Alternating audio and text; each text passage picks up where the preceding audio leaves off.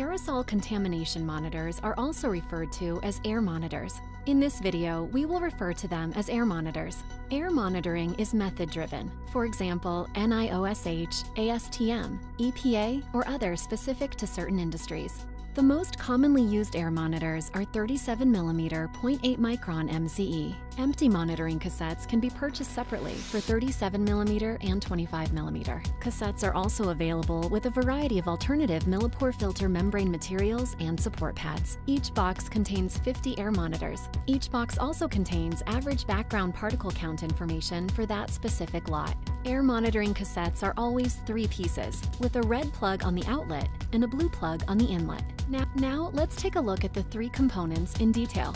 The bottom piece of the monitoring cassette holds a membrane filter and an AP10 support pad. If you were to load an empty cassette, the AP10 support pad is placed first in the bottom piece, followed by the membrane filter. Using forceps eliminates excessive handling of the membrane filters. The center ring is placed next. If you are doing open face monitoring, the center ring helps to keep the filter in place. For closed face monitoring and for easy storage, the top piece is placed on the center ring. The 37mm monitors are also offered in 0.45 micron pore size membranes. The 37mm 0.8 micron monitors are also available in matched weight versions, with yellow plugs on the inlet instead of blue plugs. Matched weight monitors contain two filters matched in weight to within 0.1 microgram, eliminating test filter pre-weighting in gravimetric analysis. The two filters are placed on top of the support pad inside the monitoring cassettes. The sample is collected on the top membrane filter, and the bottom membrane filter is used as the tare weight in gravimetric analysis. Many customers use flow meters or rotometers to calibrate the flow rate through the monitor.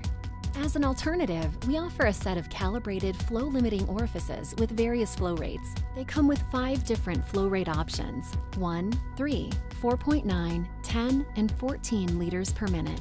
The product information, including airflow rate conditions, are provided on the back. The orifices are threaded into the stainless steel aerosol adapter. If the flow limiting orifice is used to control flow rate, thread the orifice into the barbed end of the aerosol adapter.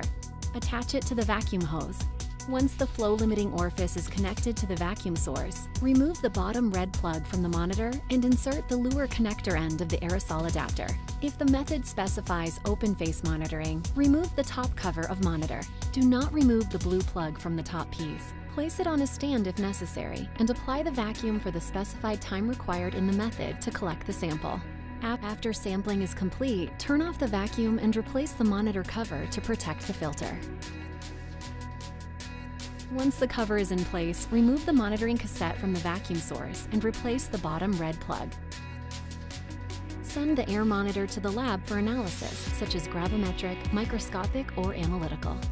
The 0.8 micron monitors are also available in a 25 millimeter diameter membrane filter size, and the 25mm monitors come with a plastic hose barbed adapter. Similarly, remove the bottom red plug from the monitoring cassette and insert the plastic hose barbed adapter. Attach the other end to a vacuum source.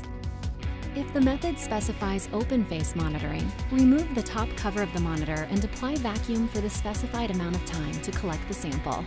After the sampling is complete, turn off the vacuum and replace the monitor cover to protect the filter. Once the cover is in place, remove the monitoring cassette from the vacuum source and replace the bottom red plug. Send the air monitor to your lab for analysis.